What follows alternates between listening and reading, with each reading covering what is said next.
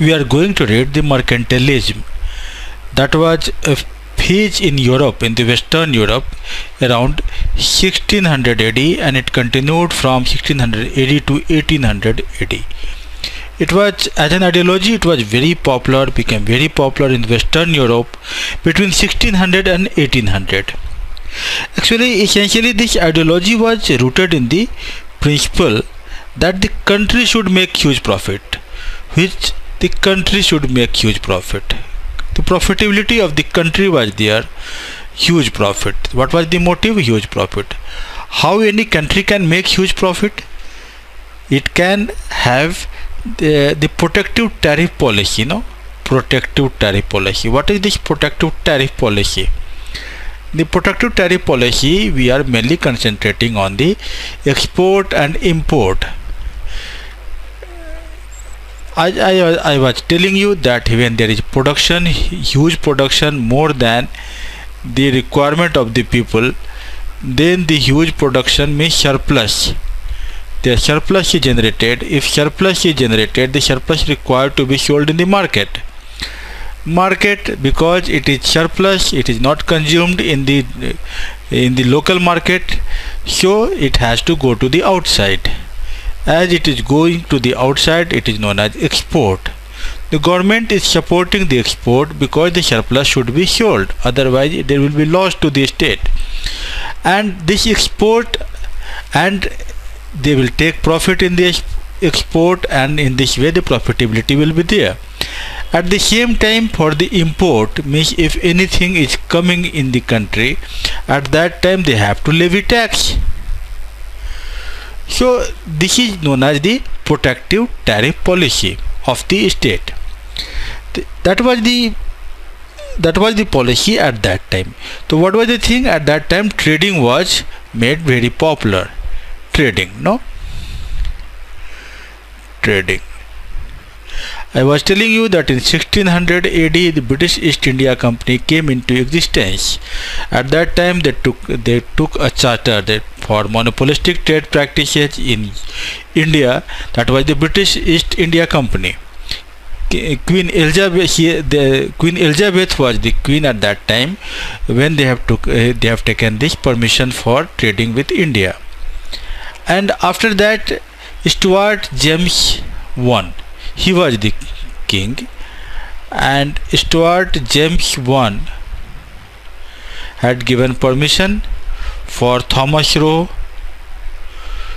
to go in the court of Sir Thomas Roe rather Sir Thomas Roe to go in the court of the Jahangir in 1617 Jahangir wrote back a letter to Stuart James I the king that they are giving the preferential treatment to this uh, British East India Company. At that time, you are very much aware that in 1498, Vasco da Gama, a Portuguese, came to India at the bank of Calicut and he was the first who has started business with the Indians and it has been also told to you that the fall of the Constantinople and the Asia Minor.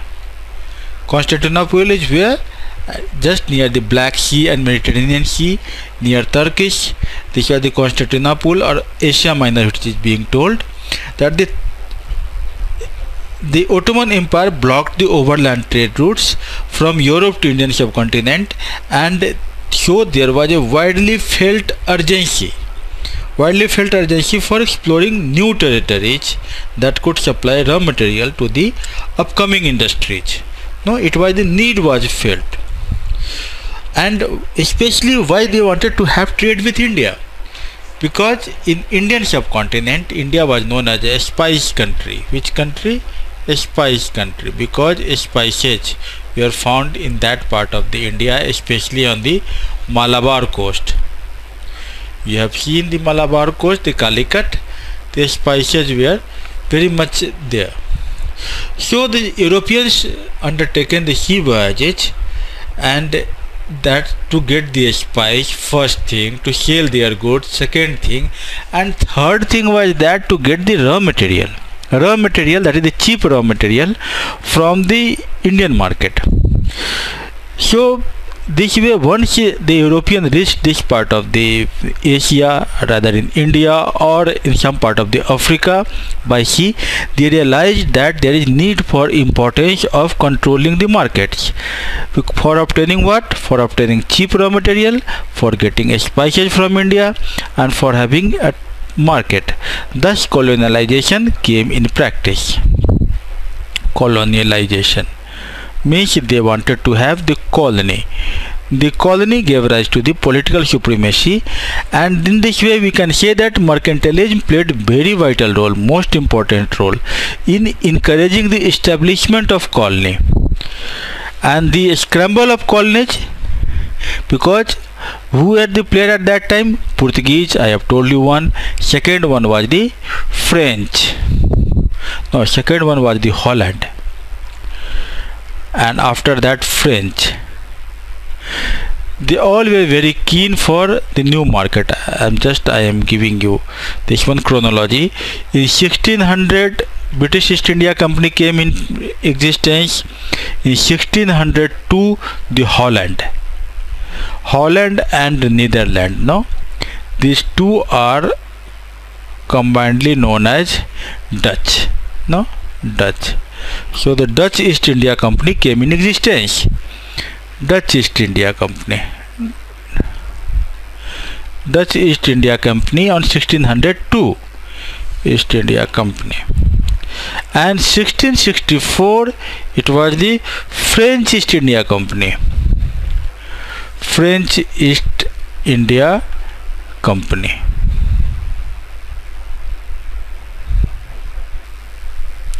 if you see the map of the Europe then you will find that here this is Russia, Finland, Estonia, Latvia, Poland, Germany.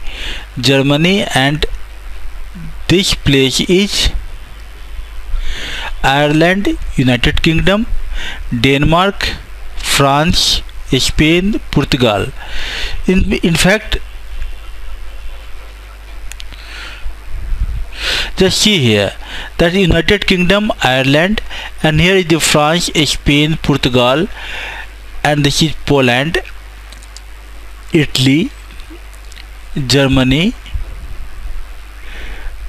and these are the places where the European settlements they had come through all the way from this route to come to India. The first one was the British East India Company. After that the people from the Holland. Holland is just near to this one Holland. Then the French people. And Portugal were the first the Vasco da Gama who came in India in 1498 since all these people the British people the Portuguese the Ho- Holland and Netherlands people, the Dutch and the French, they all came in India in search of what? In search of market. The, as they all came to India in search of market, so there was a competition among them, and the competition leads to a rivalry.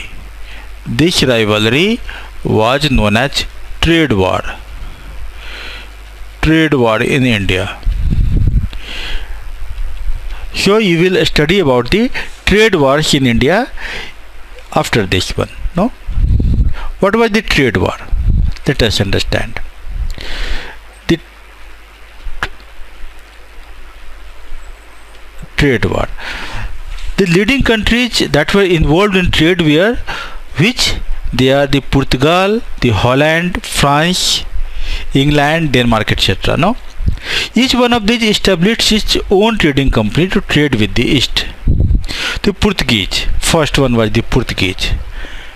Just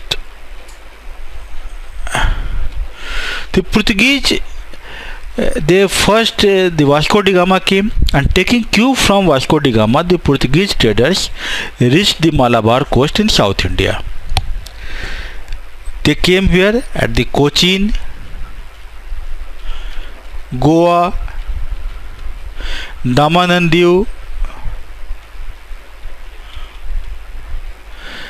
They were some of the places where they established their settlements.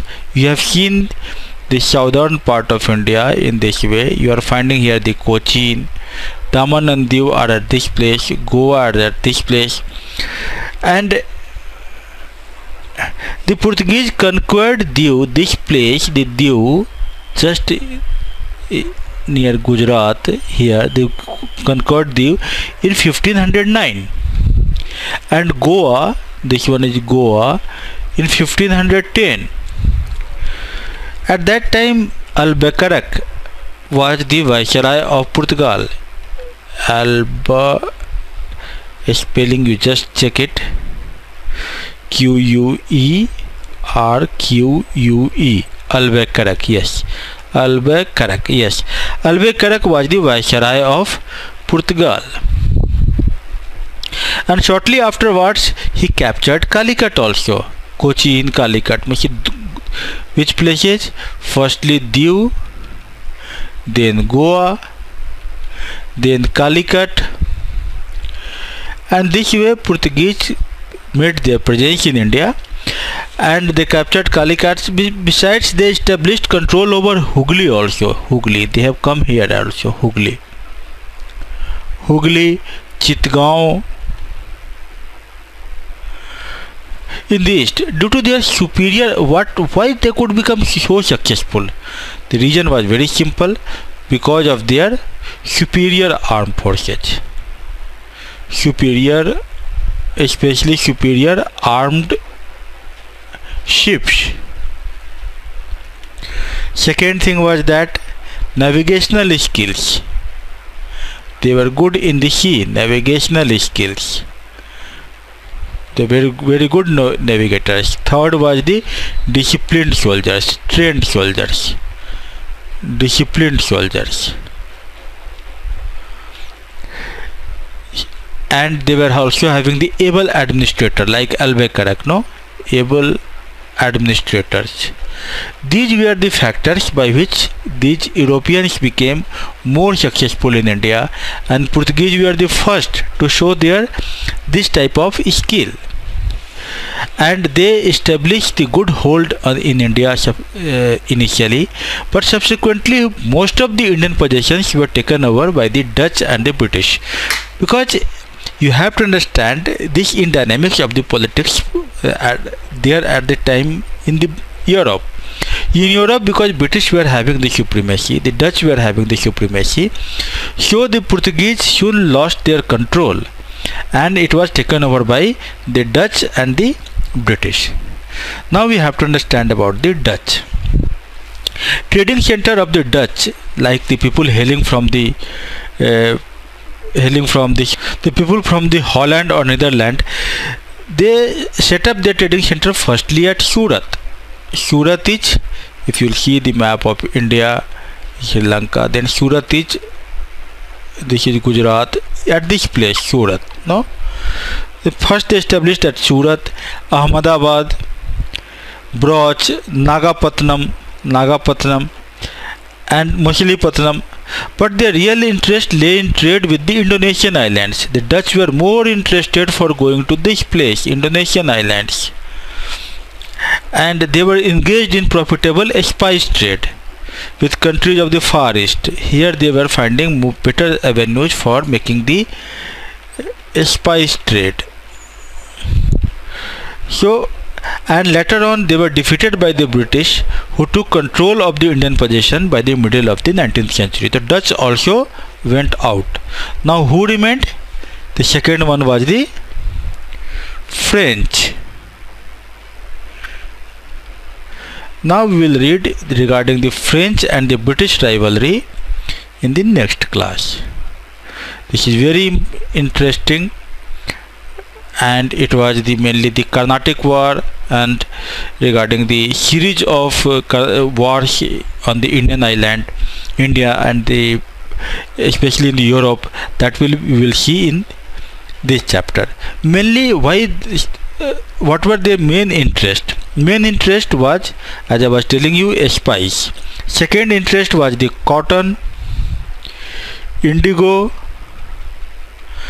then cotton, indigo, then saltpeter saltpeter were used for the making the gun gunpowder uh, tea these were the main items for which the British and the French people they were having major interest. So we will read about the French and the British rivalry in the trade war in the next class.